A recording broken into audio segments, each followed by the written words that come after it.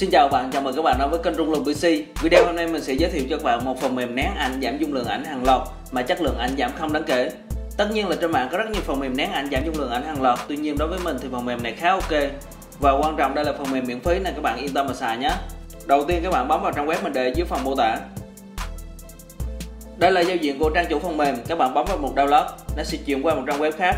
Ở đây có phiên bản cài đặt và phiên bản portable, các bạn chọn phiên bản nào cũng được nhé. Mình sẽ chọn phiên bản cài đặt, bấm để tải về.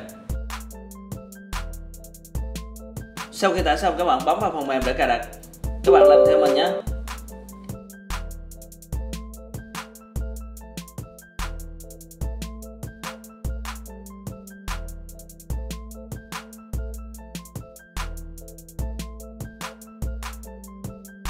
Sau khi cài xong thì đây là giao diện của phần mềm. Đầu tiên mình sẽ chỉ cho các bạn cách sử dụng cơ bản, sau đó các bạn tự nghiên cứu các chức năng khác của phần mềm sau nhé. Ở đây mình đã chuẩn bị sẵn file ảnh cần nén để giảm dung lượng. Đây là dung lượng của folder trước khi nén 114MB nè. Còn đây là folder tí nữa mình sẽ xuất file ra dung lượng đang trống đây. Đây là giao diện của phần mềm. Đầu tiên các bạn chọn file ảnh từ thư mục mình đã chuẩn bị sẵn. Bấm Ctrl A để chọn hết nè. Ở đây có hai tùy chọn để giảm dung lượng hình ảnh, bạn có thể chọn cách giảm chất lượng hình ảnh hoặc là giảm kích thước của hình ảnh. Bạn có thể chọn một trong hai hoặc chọn cả hai cũng được. Ở đây mình sẽ chọn giảm dung lượng bằng cách giảm chất lượng của hình ảnh nhé. Theo kinh nghiệm của mình thì mình chọn quality là 80 để xuất ảnh ra giảm dung lượng nhưng mà chất lượng ở mức chấp nhận được. Các bạn cứ thử nghiệm nhiều quality để tìm ra con số phù hợp cho cái bộ ảnh của mình nhé. Sau khi chọn quality xong các bạn tích vào xem for all rồi bấm set quality. Tiếp đó các bạn chọn đường dẫn để lưu file sau đó bấm compress là xong. Phần mềm sẽ tự động chạy cho các bạn.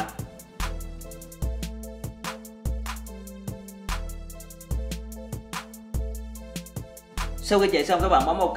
Bây giờ mình sẽ kiểm tra thư một nén xem dung lượng có bao nhiêu nhé. Đây là dung lượng của ảnh sau khi nén. Giảm khá là ok đó các bạn. Các bạn xem này nhé. Giờ mình sẽ mở hai file ảnh để xem chất lượng của nó như thế nào. Mình mở bằng ben để cho nó bung hết độ phân giải ra luôn đối chiếu cho nó rõ. Các bạn xem thử nhé, nó có khác gì không?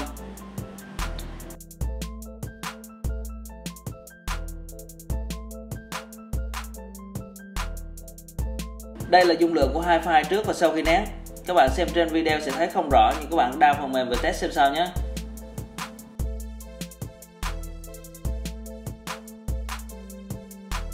Đối với chức năng nén ảnh và cách giảm kích thước cũng rất hay, bạn chỉ việc xét kích thước, phần mềm sẽ tự động chạy ra kích thước mà bạn mong muốn. Rất là hay, rất là tiện, các bạn cứ download và test thử đi nhé. Ok, vậy là xong. Nếu các bạn có phần mềm nào hay hơn thì các bạn hãy để lại comment cho mọi người cùng biết với nhé. Nhớ like, share và subscribe. Cảm ơn các bạn.